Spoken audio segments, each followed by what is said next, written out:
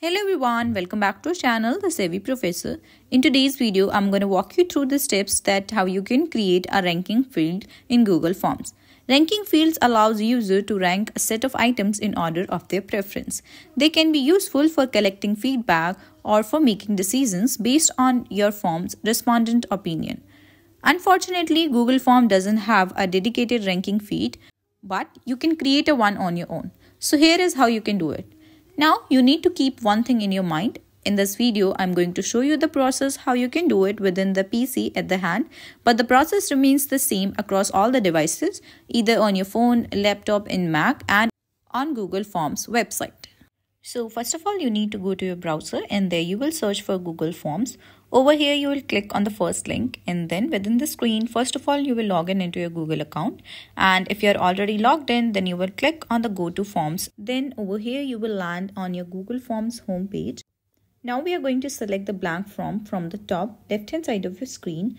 And then over here, first of all, you will just give the title to your Google Forms and then Right after that, you need to click on the first question. So over here, you can just change this untitled question. Just need to select it and write your own question. And right after that, on the right hand side, you can choose this multiple choice option.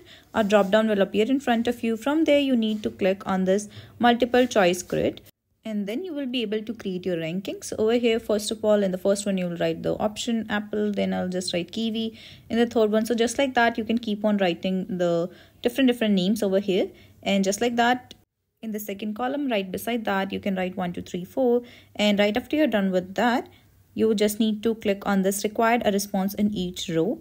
Now over here on the top of the screen you can see the second option response. So if you click on response right now we are having zero response.